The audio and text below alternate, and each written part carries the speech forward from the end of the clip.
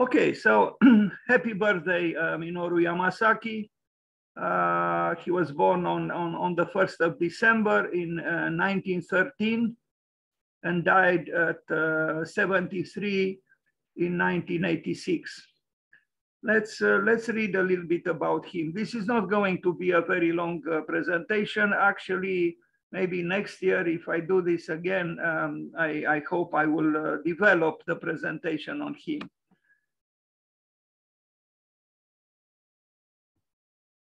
So Minoru Yamasaki, as you can see, born on December 1st, 1913 and died in February 1986, was a Japanese American architect, best known for designing the original World Trade Center in New York City and several other large-scale projects. Yamasaki was one of the most prominent architects of the 20th century. He and fellow architect Edward Durell Stone are generally considered to be the two master pra practitioners of new formalism. Um, I would say a few more things. I should have had a larger uh, text, a longer text here because he had a very unusual uh, uh, professional biography. He actually struggled. He struggled because uh, first he was Japanese and we can imagine after the Second World War, to be Japanese in the United States uh, was um, uh, not quite auspicious, so to speak. So he had to struggle and he was very poor at the beginning, understood he did all kinds of jobs. And this man who, who you know, had, uh, you know, uh, uncomfortable circumstances arrived at uh, being commissioned with the World Trade Center and many other, you know, large buildings which shows that with the tenacity and talent and a lot of hard work, it's possible to, to transcend even, uh, you know, biographical uh, difficulties, uh, not quite, uh, not quite uh, small. Um, but of course, he was Japanese, and I'm glad that in the, in the short uh, text that I read from Wikipedia, he's presented as being Japanese American, although he was born in the United States, but his parents were Japanese. Well, what I wanted to say is that the Japanese do teach us a lesson. Uh, they, they taught us, they teach us, and they will probably uh, continue to teach us. That is the, the, the, the, lesson of very, very hard work and, um, you know, uh, almost a, a fanaticism of, uh, of uh, you know, being uh, extremely scrupulous and, um, you know, extremely de detailed oriented. And so the, the, the, Japanese, as you know, do have virtues which cannot be ignored. And, and the fact that the Japanese have the largest number of Pritzker Prize laureates, uh, uh, you know, winners, uh, does say something. It's not an accident. and but he didn't uh, build, in, he didn't live in Japan, he lived in the United States. And it happened that he lived at the wrong time, at the wrong place. And yet, at the wrong time and in the, at, at, at, in the wrong place, he was able to, to, uh, to achieve uh, remarkable things. Again, to be, to be uh, appreciated and commissioned with very large, uh, very large projects. you'll find other data about him um, on, on Wikipedia. You know, apparently he even had uh, several wives and, uh, you know, uh, I think at one moment he even remarried a, a, former spouse. So I guess in, in the field of domesticity, he had troubles like many others, but he remained and be became an architect about whom um, we talk today. Um, non-critical globalism, this is a, a, wording that, that came to me, so to speak, came to my mind while I was preparing this presentation, because his architecture is a globalist architecture. The, the so-called new formalism that Durell Stone and himself were, uh, you know, uh, associated with is one aspect of, of their architecture. I think another aspect is, uh, uh, is this uh, rather non-critical globalism. I am, of course, referring uh, implicitly to the critical regionalism that uh, was um, advocated by Kenneth Frampton, although he was not the only the, the one who uh, first thought of these words, critical uh, regionalism. But if we are to compare critical regionalism with non-critical globalism, what could we say? Uh, there is a lot of non-critical globalism today as well a lot of architecture that is, uh, you know, uh, comfortably advocating the values of high capitalism, very commercial and, uh, you know, serving uh, the power uh, is usually non-critical globalism. And it was so at the time when, when um, uh, Minoru Yamasaki built what he built if something turned me off when I was in the proximity of the World Trade Center of the two towers was exactly this, that I felt there was a, a, a hegemony there in those towers, those two towers expressed through their architecture that uh, made, me, uh, made me uneasy. It was truly a, an architectural accomplishment which uh, advocated the power of the strong. But I think Minoru Yamasaki, I don't know if this was part of the program for that uh, building or for those two towers, but the fact that he, he, he, he uh, created two towers, somehow he, uh, there was a, a form of sabotaging that very globalism that I am trying to, to depict here. You know, because if it was one, just one tower as it is now, perhaps that globalism would have been even more uh, stringent, even more, uh, uh, you know, uh, explicit.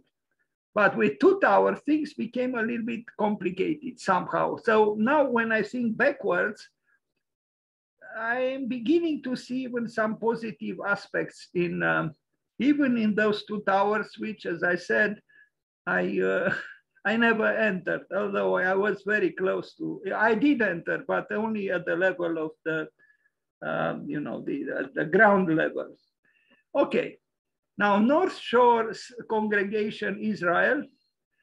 Uh, he built a few things that this this puzzles me a little bit. Uh, it, it is an architecture that is uh, well, it was described as being formalistic, but um, I, I think Minoru Yamasaki, uh, although he was not European, his parents were not European, I think he liked, he liked uh, on one hand, the Gothic, and on the other hand, maybe even uh, touches of, uh, of Islam uh, and, and this can be seen in, a, in, a, in the decorative aspects of his work.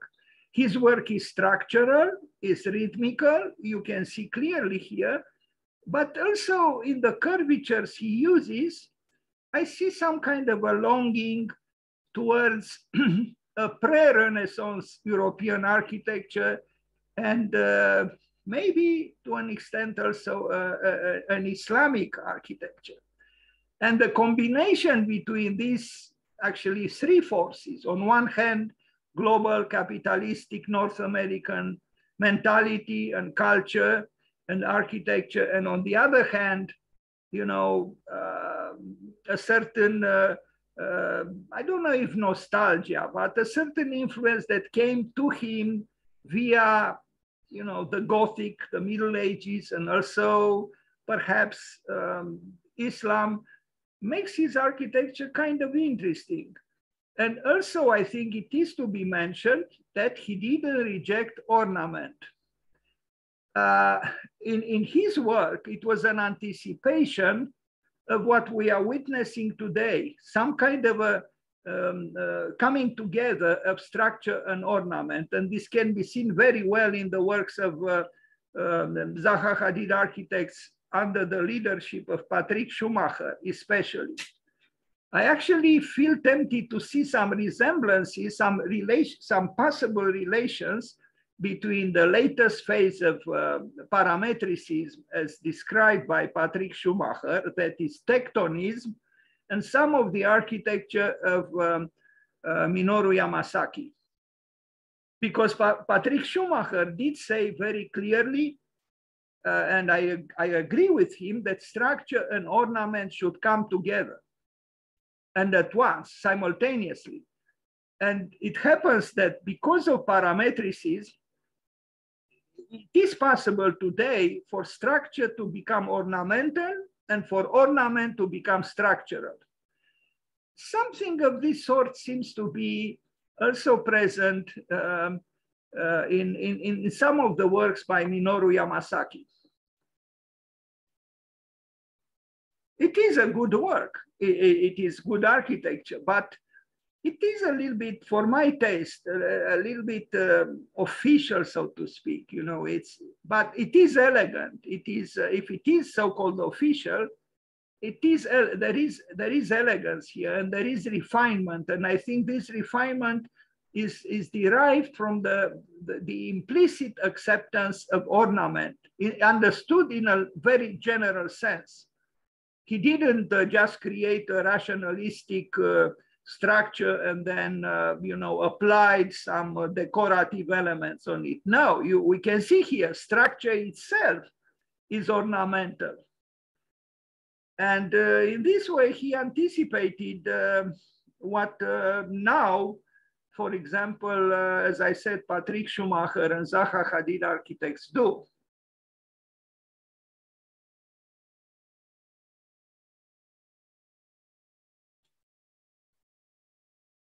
Ornament is coming back with strength, uh, great force these days. And it's obvious in, in, in, many ways. Apparently the world is a little bit tired of uh, the austerity and even predictability of an obsession with structure. Although here structure is very obvious, but as I said, it's an ornamental structure. It's a structure which, which is softened by uh, a concern for something that transcends it. I know I, I, I, express myself paradoxically, but this seems to be the case. And uh, the benefits are, are, are, are, for all to see here. It's a structure which, as I said, seems to desire or to want to transcend itself through approaching itself uh, of uh, what we call uh, ornament.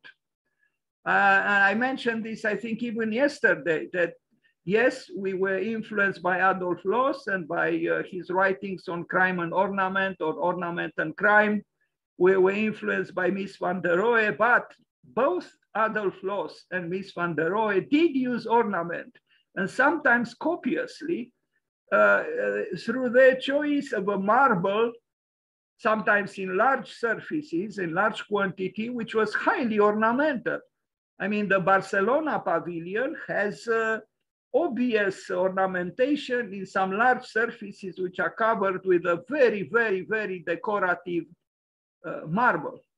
Uh, and, uh, you know, so our myth that ornament should be banished uh, is, uh, you know, weakened by, by the very practice of someone like Adolf Loos or um, Mies van der Rohe. But back to Minoru, Minoru Yamasaki, uh, we see here, if we look upwards, and sorry for the, for the picture, which is, uh, you know, uh, low resolution, uh, we see actually almost a Gothic ceiling in a Gothic cathedral, but modernized. A modern version of uh, the, the gentle or the graceful structuralism of the Gothic cathedral.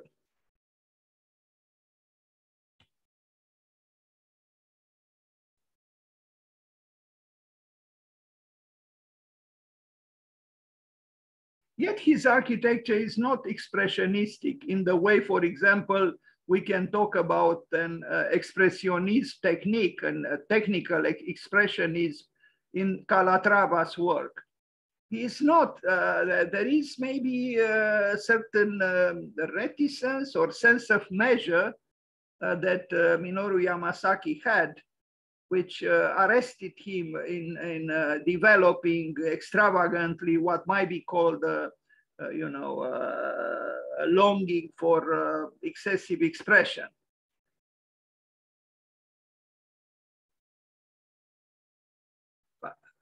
Islam also is not very far away. Let, let's look here, you know, and discreetly insinuated into, in, in, into the building. The, the, truth is behind these formalisms, as, they, as, as, as uh, his work was described with, there are here sub, subtle things, not uh, screamed, not, uh, um, you know, obstinate, but uh, uh, they are easily uh, decipherable, decipherable if we are willing to spend some time with his work. Now, the Northwestern National Life Building, here again, we see, um, you know, the emancipation of the column towards something that, uh, in very general terms, could be described as ornamental. Of course, there is also static sense or structural sense, but the form itself uh, shows uh, what is called uh, formalism, which is very, very close to what we call ornament or ornamental or even decorative. There is elegance, it's true, there is elegance in, in, in this building, but let's look back to its function. National Life Building. This must be some kind of an insurance company. And here I, I, I feel tempted to ask, are we to glorify uh, an insurance company, company in this way? I mean, in the case of a Gothic cathedral, it was understood it was, it was the house of God. But this is not the house of God. This is the house of an insurance company. And uh, although, you know, yes, they might uh, be godlike, but they are not God. And um, I have some um, uneasiness, so to speak, in, uh, in, uh, in not asking certain questions when I see such a build, you know, glorious as it is. I mean, after all, what are we glorifying here, actually? Making money, this is what we are glorifying. So the Gothic model, is it truly appropriate? I'm not so sure.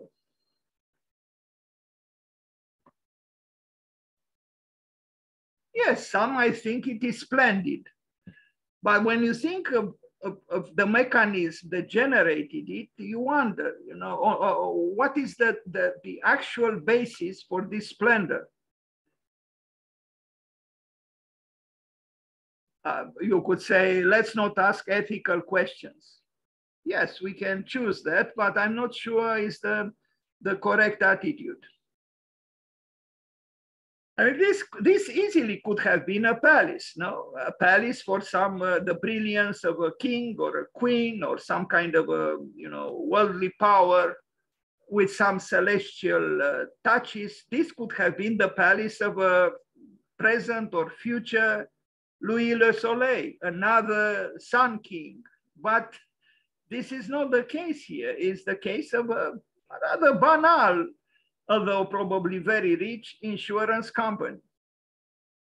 Anyway, uh, what I'm trying to say is, could we look at a building exclusively in aesthetical terms? I don't truly think it, it, it, it, it can be so you know, or it should be so. And yes, there is a globalism here. And when I said non-critical, it's because yes, it doesn't assume a critical dimension. The kind, for example, uh, Goya, the great uh, Spanish uh, painter, assumed when he painted himself with a royal family, you know, a little bit aside in the painting and uh, you know, a little bit in the darkness, and then the faces, the facial expressions of the royal family were rather uh, not, um, you know, emanating uh, you know, solar beauty or anything like this. So it, there was a, an, an indirect uh, criticism uh, in, in, in the painting by Goya. Yes, he assumed the, the, the, the subject, he assumed uh, painting the royal family, but the man in the shadow or a little bit aside, uh, through his posture and through the way he painted the royal family, he was not quite flattering. This I don't see in this architecture. Perhaps for architect, for an architect, it's more difficult to do so. How could you express your, resistance towards, let's, let's say, an institution or a client in whom you don't actually believe a lot? Uh, maybe Louis Kahn was right. In case of a war, an architect has to make, still has to make the wheels of the war machine square, uh, round, as opposed to a painter who, in opposition to war, would paint those wheels square. So it would make the war machine not functioning.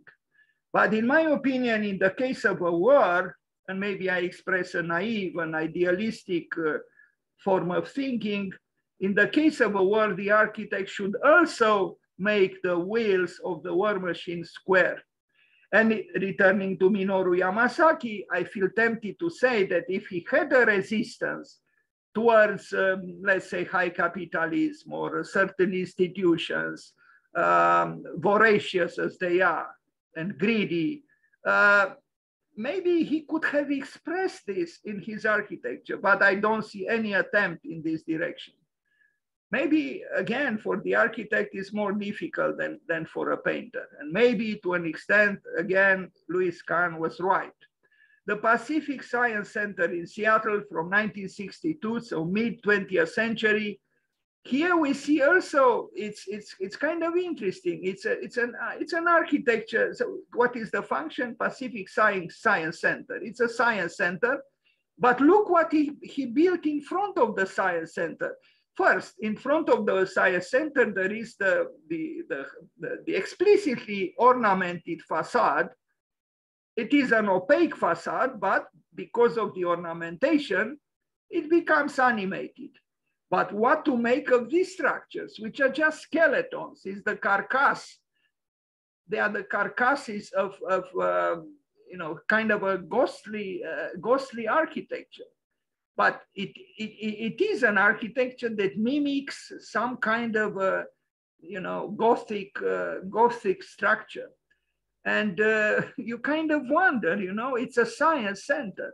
This is not a, you know, theological uh, school or center, it's a science center. So why the reference to, you know, to the transcendentalism of the, of the, of the cathedrals? You wonder. I'm also surprised that they were built, that the clients, you know, uh, accepted this proposal. Uh, it's hard for me to believe that the clients uh, required in the program something like this. It's possible that uh, this is an interpretation of the program by the architect. This Japanese American architect called Minoru Yamasaki.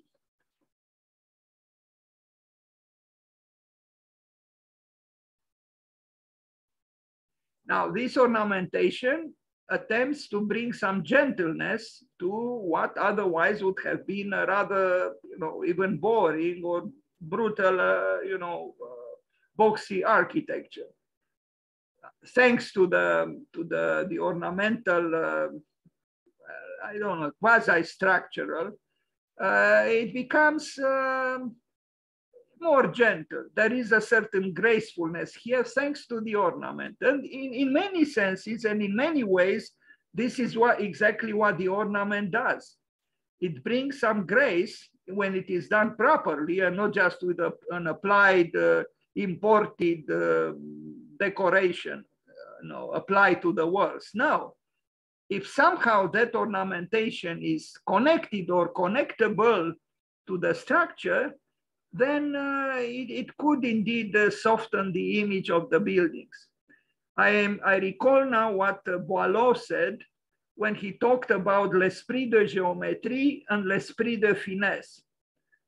And he said that a good work should have both the spirit of geometry and the spirit of fineness. And what is the spirit of geometry? Essentially structure. And what is the spirit of fineness? Is, is essentially ornament. So if you can bring together, or speaking in very general terms, to bring together the masculine principle, that is structure, uh, together with the feminine principle, that is ornament.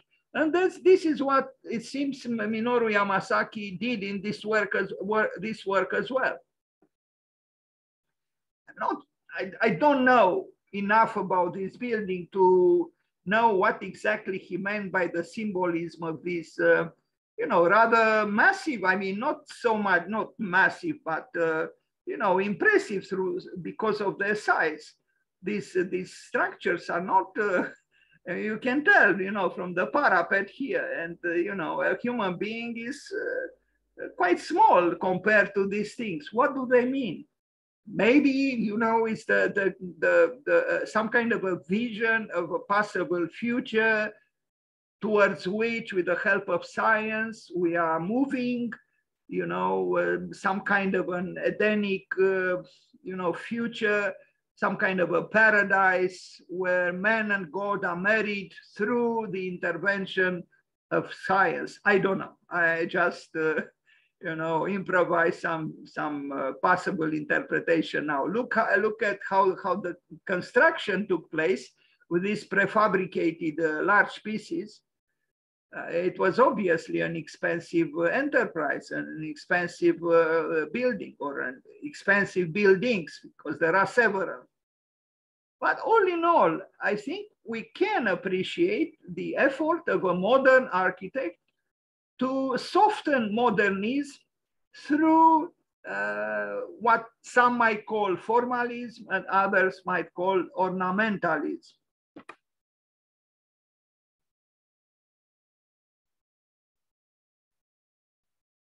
I mean, it's enough to compare this building in the left corner, in the bottom left corner, with what uh, Minoru Yamasaki did to see that I mean, this is was, was also modern and it's possible it was built not much earlier than this. But this is a different attitude altogether. Why? Because it welcomed ornament, while this one didn't completely.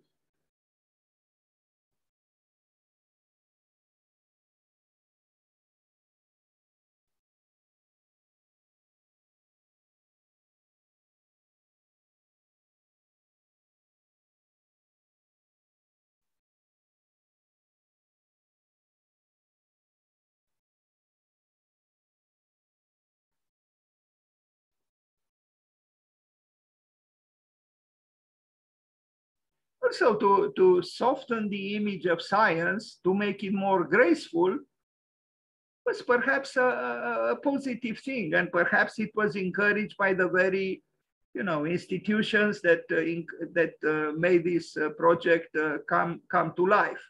Now, another, you know, corporate building, Horace Mann um, Educators Corporation in Springfield, Illinois from 1972 this kind of officious, officious, if I am to use a word whose existence I, I, uh, I'm not convinced of, um, because I think there is a difference between official and officious.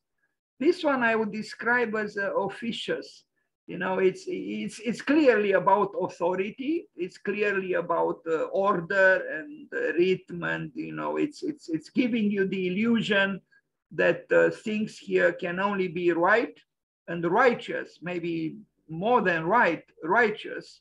And the flag itself is already setting the tone. It's it's it's a building that uh, yet serves the the the, the uh, you know the establishment, uh, and he was very good at this, very accommodating as he served the establishment uh, in a in a obvious way with his uh, World Trade Center. It's not a bad building, but uh, I don't know. I mean, it's it's it's a building which doesn't really take us by surprise. It's I'm not saying that all buildings should take us by surprise, but my personal preferences are more towards the towards the rebels. And uh, Yamasaki was not. Uh, I, I wouldn't describe him as a rebel, but in the field of architecture, somehow because he assumed the ornament, there seems to be the, the insinuation of some kind of a graceful or gentle uh, rebellion.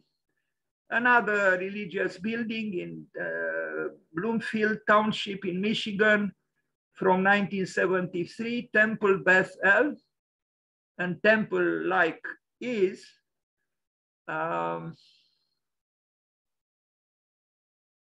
I don't know. I mean, you know, this this this meeting between, uh, between I, I, it's something that makes me a little bit uncomfortable. This monolithical, you know, certitude. This this building, which is which is so gloriously advocating and expressing a certitude. You know, the certitude of a certain faith. There is no doubting here at all. I mean, I mean, yes, you could uh, fantasize that, uh, you know, the curvature here, as opposed to what's going at the top, uh, the different curvatures would um, somehow express some kind of indirect uh, reticence or doubting. Um, I, I, I, don't know. Um,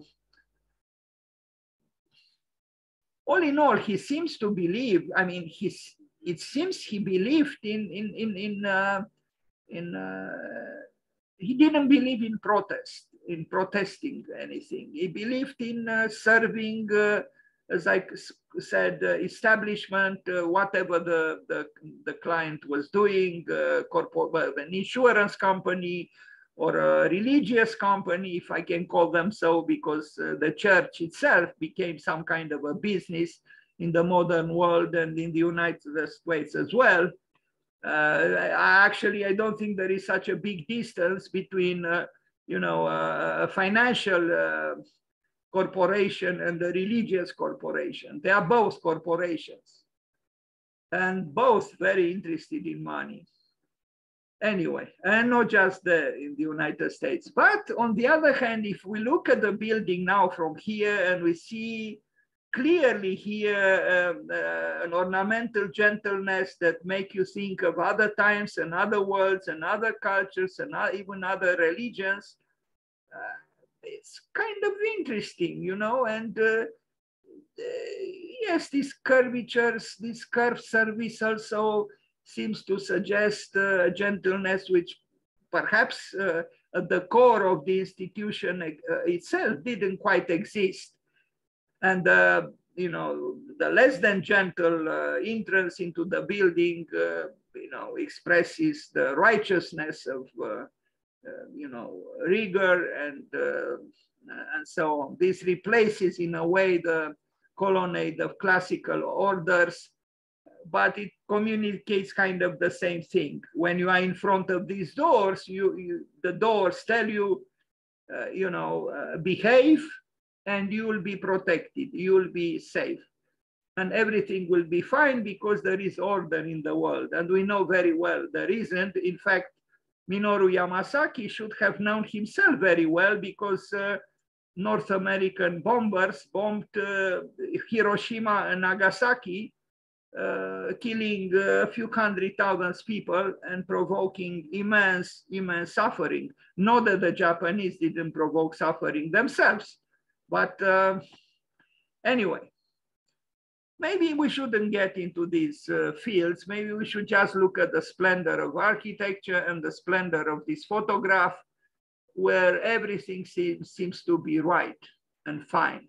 And it is in a way a good building, but uh, uh,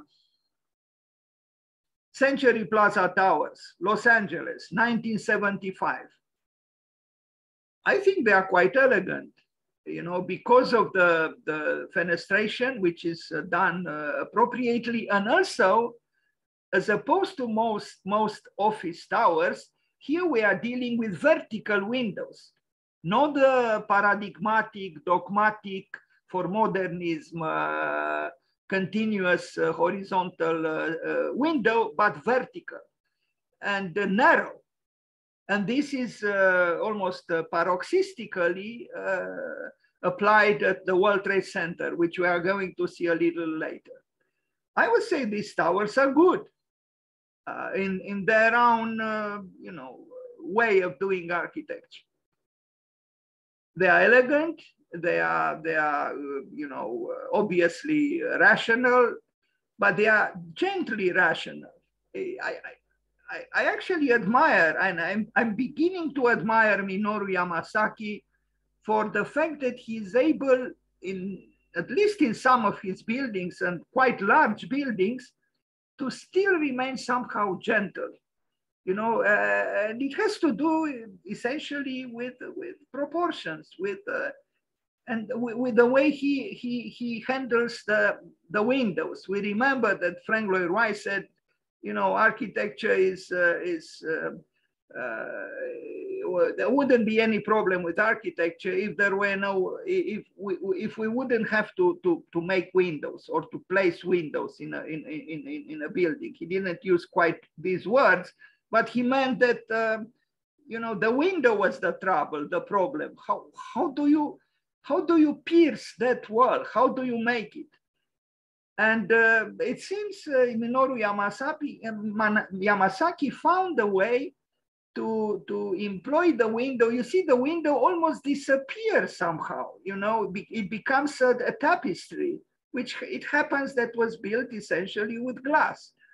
But it's woven somehow. This aspect of his architecture, the woven part of his architecture, uh, which is not always present, uh, is perhaps an interesting uh, uh thing to contemplate. I mean, this country, the United States, has many skyscrapers, many tall buildings, but not all have the, the same gracefulness uh, that, that at least these two buildings by uh, Yamasaki do have.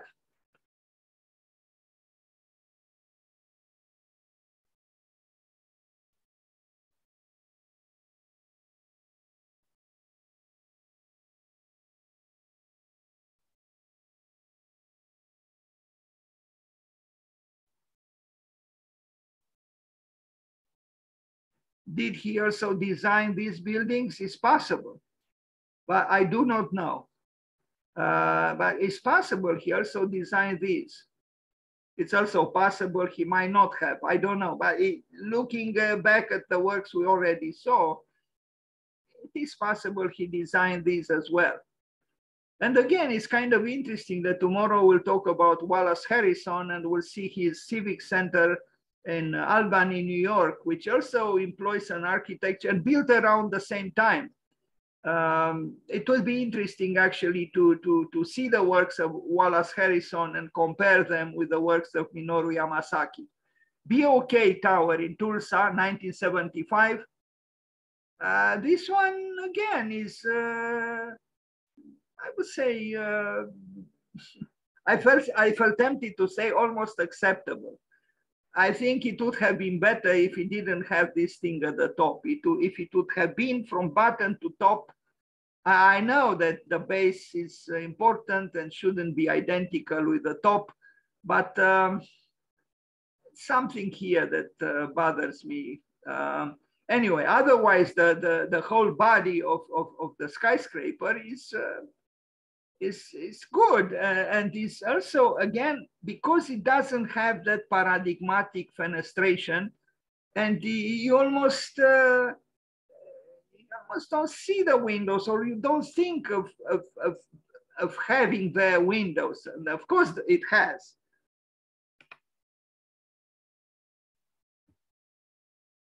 Yeah, I mean, here, you know, where are the windows? Of course it has windows, but somehow he he transcended the the he was able to to to uh, dilute in a way the the the you know the the parameters of a window as such. He transformed the, the, the summum of windows into some kind of a rug, if I am to use maybe a strange word, Because yes, if, if I look at this picture like a painter looks at a painting, meaning almost closing his eyes, I, I, don't actually see, especially if I look from, from the side, I don't actually see the windows. And yet it has windows. I'm not talking about the base where the windows are quite obvious. And I actually think that the problem with him is here at the base and at the top. Maybe a little less at the World Trade Center, but we'll arrive there.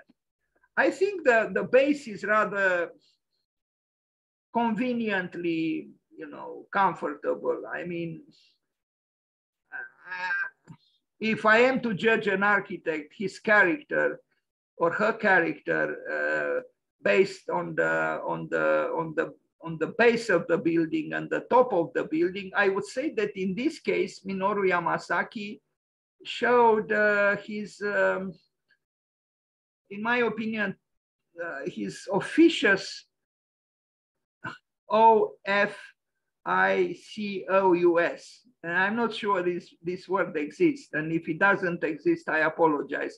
His officious uh, serving of functions for uh, you know, uh, unquestioned, uh, unquestioned uh, authorities or, you know, clients or corporations, you name them, for the establishment.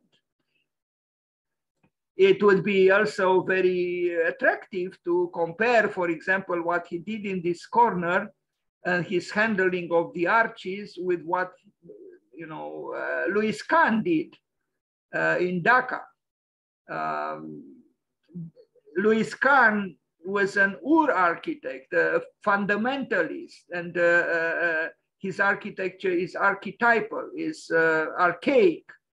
Here we are dealing with a, a high level of being so-called official, smoothly official, and uh, not uh, intending in any way to irritate this is probably uh, one of the explanations why he, he, rece he received such commissions. He received them because he was not irritating anybody. And uh, um, that's not, uh, that's not an easy thing to do when you are dealing with giants in the field of, uh, you know, you can imagine who built this building. Now the tower in Seattle, 1977, Rainier Tower uh, in Seattle. This one is a little bit more extravagant because again, his base, but here he was adventurous.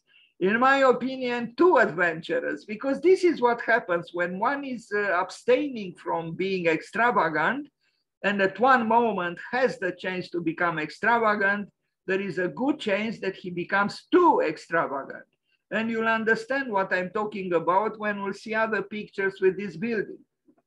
Look at this. You know, it's, um, again, I think he's showing he, he had some troubles with the base of the building and the top.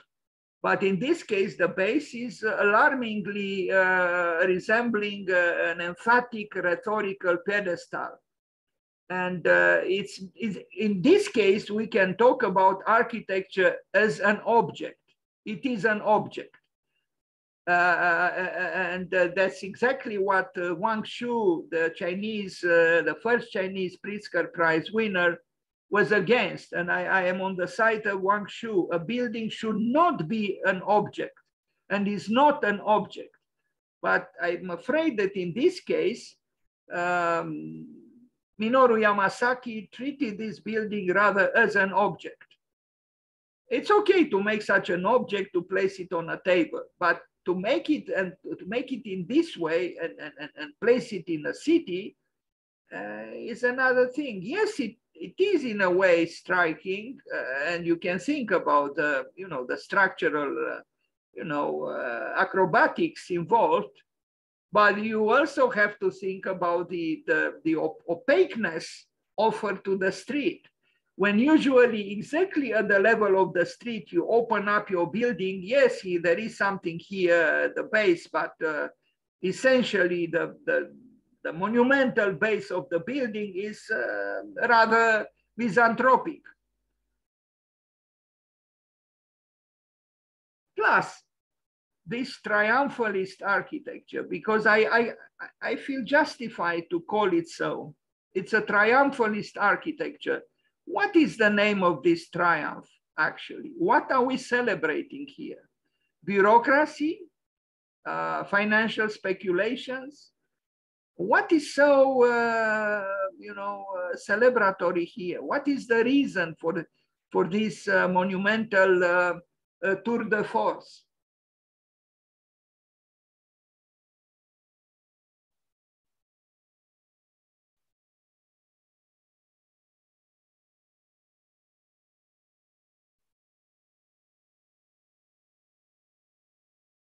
Now, Federal Reserve Bank in Richmond, 1978. This picture is very good for what I was trying to say before. Here we have the, you know, the, the paradigmatic, uh, dogmatic, horizontal, uh, continuous window for office towers. And here we have what he does. And I think what he does is better. It's more subtle, is graphically and architecturally more convincing because he almost makes the window disappear. Uh, and the very idea to create thin or narrow vertical windows is almost anti-modern. And, uh, but he's able to create these facades, which remind me of the paintings of Daniel Buren, uh, French, uh, maybe he still lives, uh, French influential painter who only painted um, stripes, vertical stripes, 8.7 centimeters wide in two colors all his life. That's all he did. And he arrived to with that even, uh, you know, on, uh, well, he changed a little bit on the Fondation Louis Vuitton, but he did it for other buildings in Paris and so on and uh, installations. Daniel Buren.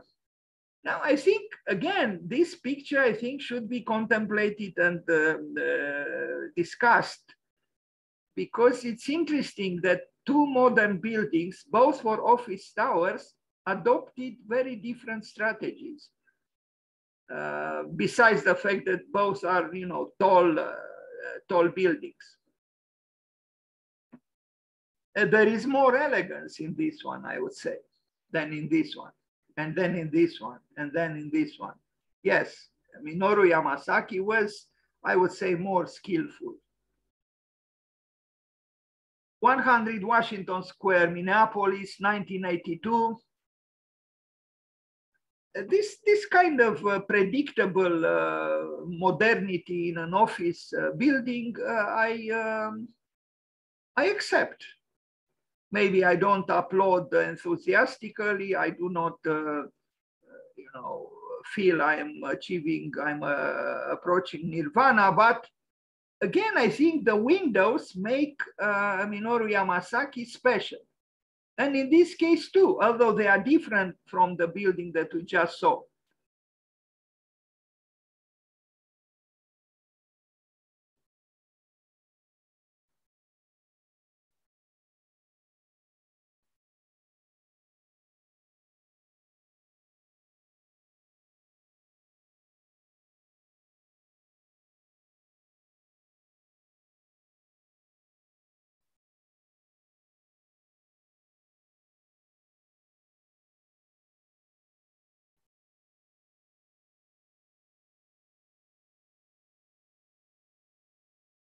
Torre Picasso, Madrid, 1988. I wonder what Picasso might have thought of it. Um, I don't know very well what to say about it besides what I already said about the other towers, except that this is in Madrid. Uh, Philip Johnson was more adventurous because he made the towers uh, inclined, but uh, this one is uh, vertical as anything that is vertical. Why it is called Picasso, I don't know. To me, it has nothing in common with Picasso, but uh, maybe that's not the point. Um, I don't even know what its function is. Torre Picasso, 1988. I'm glad he didn't use uh, classical columns and all the rest, uh, considering that 1988 was still still belong to what we call postmodernism, uh, although postmodernism was beginning to uh, weaken uh, by the time deconstruction was knocking at the door, but not at the door of Minoru Yamasaki, as we can see.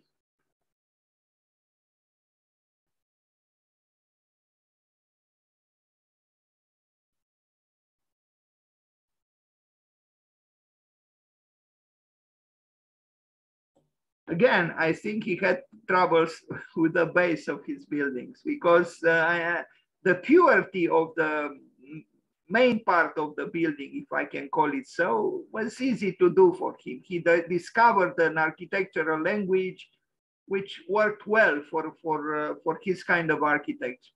The problem was at the base. What to do here, you know? So there is some historicism at the base which bothers me a little bit sometimes also a little bit at the top.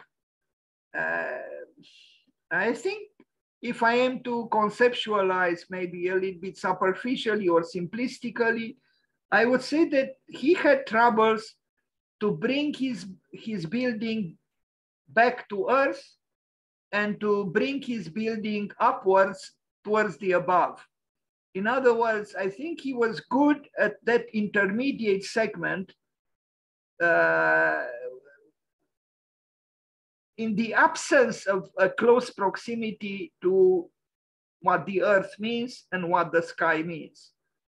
I guess what I want to say is referring to what um, uh, said, that there are architects who are very comfortable working uh, kind of like basement, uh, basement architects.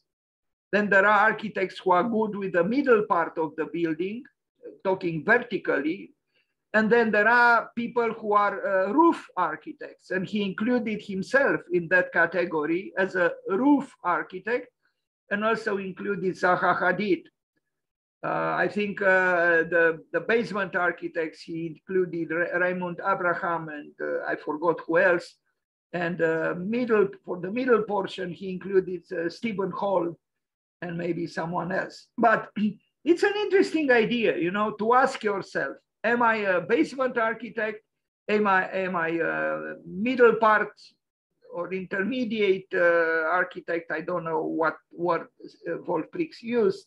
Or am I a roof architect?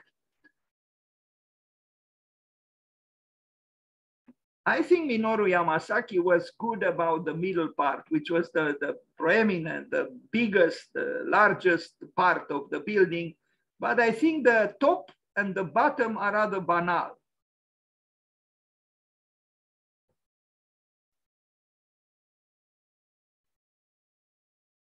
And not as elegant as the rest of the building, I, I, I would feel. He didn't know how to end his buildings at, the, at both ends, in my opinion. And I'm not saying that it would have been easy to find a solution because when you have this purity that made me think of the, you know, the minimalism of uh, Daniel Buren, what do you do at the top? How do you end this? Perhaps it's better to continue all the way. But he wanted to cap it and to, to stop it. And um, it's difficult, both at the bottom and at the top. It's difficult. As long as you don't see the bottom and the top, I think the building is just fine.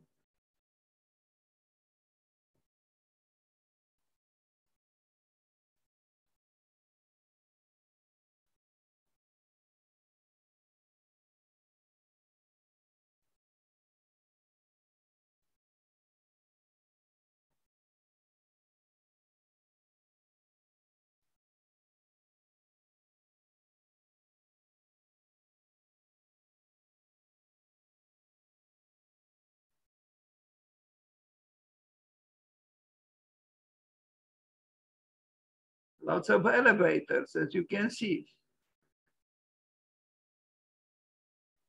18, in fact, if I counted well. Anyway.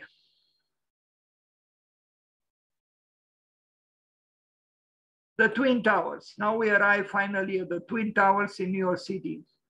We all know them. They do not exist any longer. Um, yeah, there are many towers around them. There were, and there are, and there will be. They were replaced by one single tower. But now looking back, although I was critical of these two towers when I found myself in their proximity, I'm a little bit less confident in my criticism. As you can see here, where are the windows? I mean, again, I think he did a, you know, a special job here by, by, uh, uh, by uh, miniaturizing windows, although they are not small, but because of the scale and the fact that he was preoccupied by this verticality, this, this succession of, of vertical lines, one after the other, one near the other, the windows almost disappear. So this is halfway between a wall, an opaque wall, and the transparent wall, but it's neither.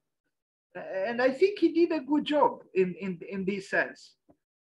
And yes, he was confronted with the same problem of the base, and I think he solved it rather uh, gracefully, considering the giant uh, task here, uh, considering the, the immensity of the project and of the buildings.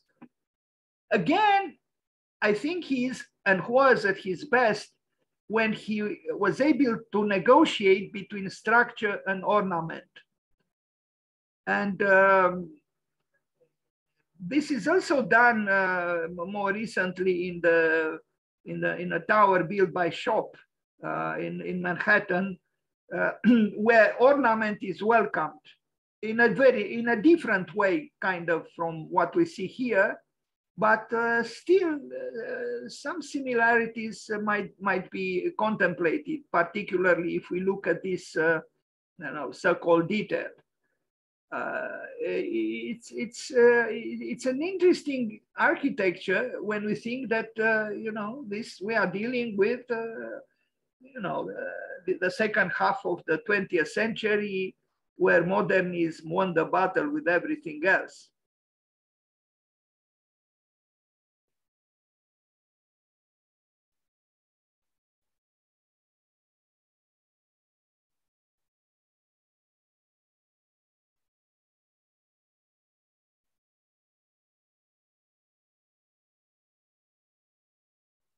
I did myself a project for this area for the um, memorial garden for more than 3,000 uh, victims of the terrible tragedy. I don't know if I have that uh, that project here, which I, I did to an almost complete extent, but I didn't send it to, um, to New York to be evaluated.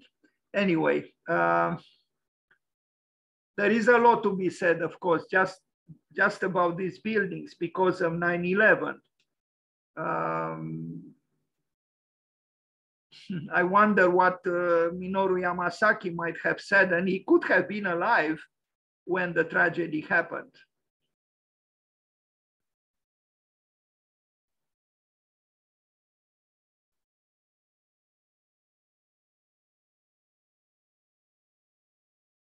But I think no one would contest that these buildings represented hegemony, and it was the financial hegemony. Hegemony. It, it, it, these buildings were built for what was called World Trade Center, not local trade center, but World Trade Center. These two towers, uh, of course, irritated other people, other countries they represented, uh, you know, uh, very powerful and obvious, uh, you know, financial um, hegemony.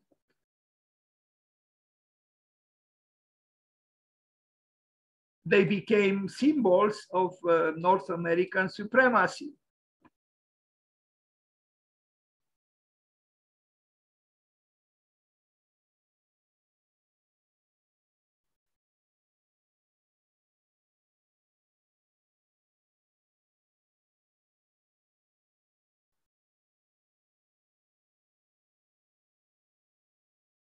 Now, are financial transactions and financial speculations graceful activities?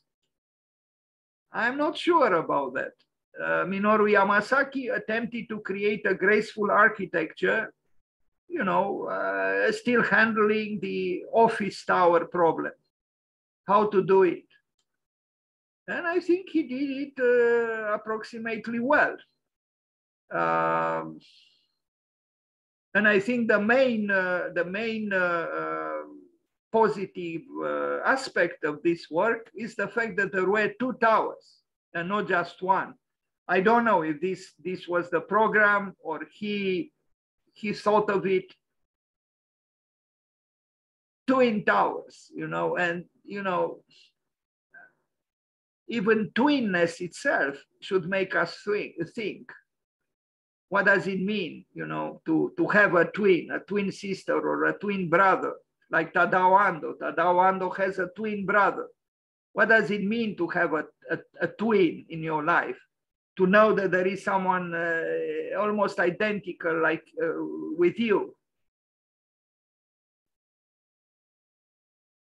This building, through its function, proclaimed, you know, authority, uh, power but because he doubled it, you know, is the, the two-ness, to use a, an exa a linguistic exasperation of uh, Peter Eisenman, two-ness, T-W-O-N-E-S-S. He actually subverted that power. Yeah. Um,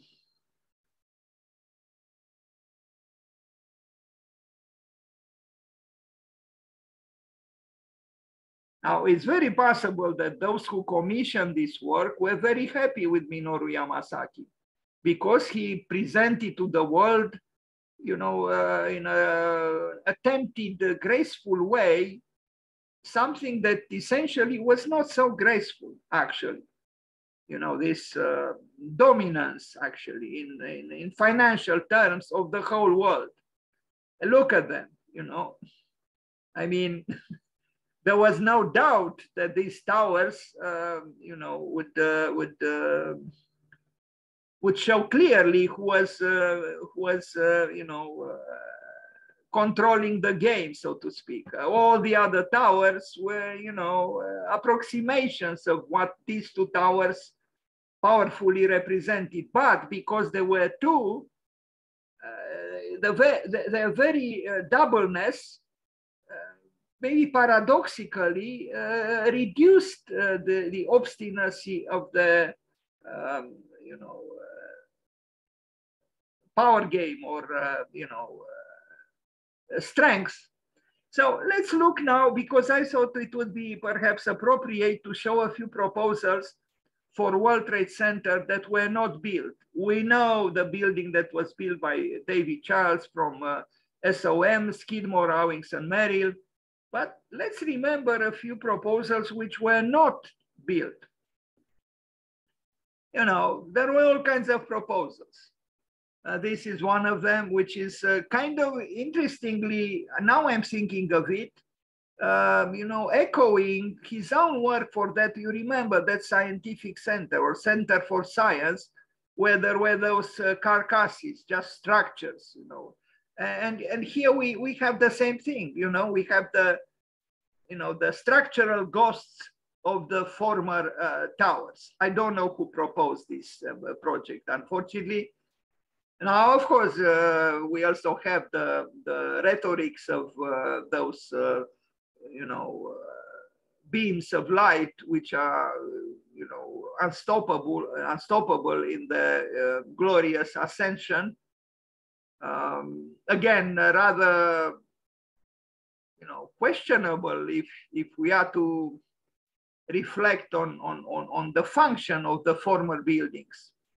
This is the proposal, this one by Daniel Libeskind, who became then in charge of the site plan and so on. He won this competition, but it was not built like he proposed it he himself, in my opinion, was not very pure because he very conveniently, you know, uh, measured the height of the building and uh, um, you know, created a parallel between, uh, you know, the, the year when uh, the United States became uh, independent and, uh, you know, the, the height of the tower. I, I call this professional uh, opportunism, but I guess in order to win such commissions, you need to be a little bit, at least a little bit, uh, an opportunist. Um, these other buildings, these buildings exist. Here we see the proposal by Peter Eisenman, which of course was not built. Um, interestingly, he also had two buildings, but uh, not, uh, not, not, we, we, wouldn't really call them uh, twins.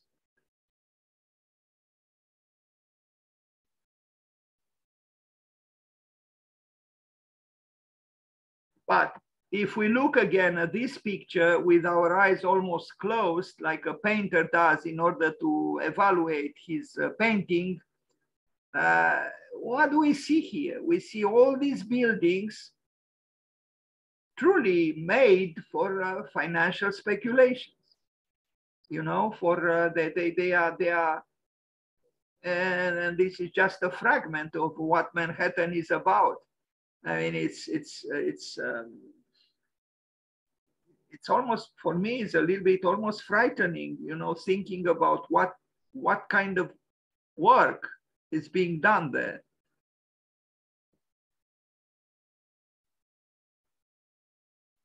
trade. Trade this is what we are talking about. Trading meaning uh, transactions. Financial transactions moving money from one place to another. With a profit of course. Because as we know in capitalism, not to make a profit is sinful.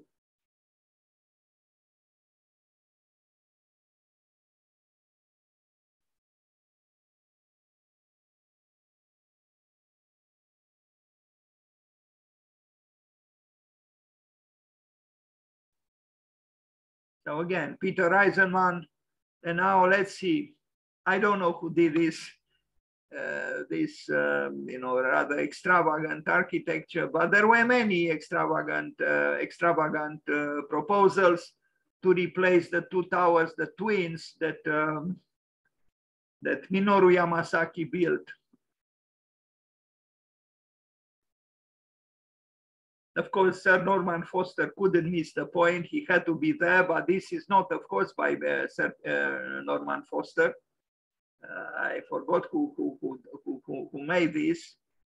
Um, well, I could specu speculate in describing them, you know, this tentacular architecture, monstrous in a way, you know, showing uh, in a certain way the implicitly or explicitly or both the tentacular uh, monstrosity that uh, trading, trading and trading again could actually mean.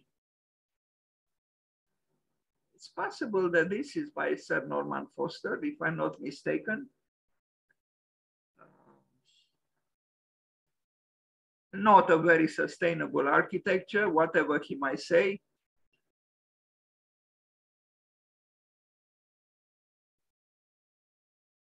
Lots of glass, of course.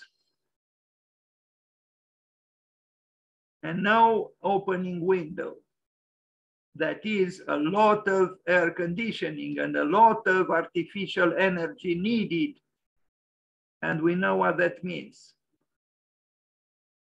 Well, here we have, we have the tower as it was built by SOM and David Childs. Then we had, of course, Bjarke Ingels couldn't miss the occasion, but it was not built. You know, he made this proposal and I'm very happy it was not built because I think uh, New York can do better, actually. He did other things that are better than this one. Uh, and uh, what else do we see here? Do we see the tower by Fumihiko Maki, which is also very elegant, but I don't see it here. Um, anyway, at the base, we see New York City with apartment buildings and the, you know, the life as lived has lived. And then uh, we see uh, Mount uh, Olympus, where the gods live. And uh, these are the gods of, of, uh, of selling and buying, of, of, you know, uh, trading, transactions, you know, money, money, money, and money again. The society that believes that time is money, uh, in my opinion, very wrongly. And now I will end this presentation. When I lived in Chicago, I had a small, uh, let's call it art architecture gallery. And uh, on some occasion, I showed a, a project done by a Romanian uh, who, uh, architect who at that time was in Barcelona working on his doctorate, uh, doctoral work. And, and he is now an assistant, uh, I think, at um, the University of Architecture in Bucharest. Uh, I'm talking about uh, Justin Baroncea. And he had an interesting um, uh, idea. And actually, I, I, I, don't have now here this text. I displayed it in the windows of my gallery.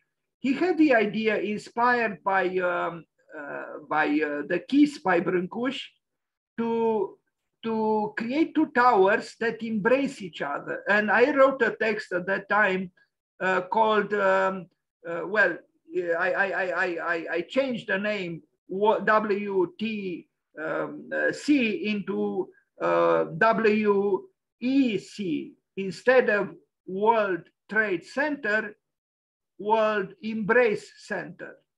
And because this is what, uh, what he proposed, made me think of. And maybe if we would have in the world more understanding, more, uh, and I understand, I, I, I'm aware that I express an idealistic uh, thought and position. But it's possible that if the black and the white would just embrace each other, would, would just understand each other, uh, you know, thinking of the title of the book by, uh, um, uh, you know, uh, uh, what's his name, um, who wrote uh, I and Zoo, um, I forgot his name, Martin B Buber, he, he wrote about I and Zoo. Well, I and Zoo are the twin towers. You know, uh, the two towers that if they would understand each other and if they would proclaim uh, or uh, advocate, uh, um, you know, embracing, maybe, maybe in such a case, the um, you know, uh, a tragedy like it happened would not have happened. Um, I don't know. Uh, in the field of politics, uh, artists are usually um, uh, naive, and I'm sure I, I was and am myself naive. But I like this work by um, Justin Baroncea. And, and the idea to you know, fight against the calamity, calamity of aggression and war, uh, uh, you know, and uh, essentially death with uh, empathy and understanding and uh, doing exactly what he suggested with these two towers, inspired as they were by um, the well-known uh, sculpture by Constantin Brâncuși, which we see here on the also on on the on the window of, of my gallery. Here is Brâncuși, and here is um, Justin Baroncea. And here was the text, which if anyone wants, I could uh, send it uh, to him or her. I have it, but I don't have it here prepared to, uh, to read it. Thank you. And happy birthday, Minoru Yamasaki.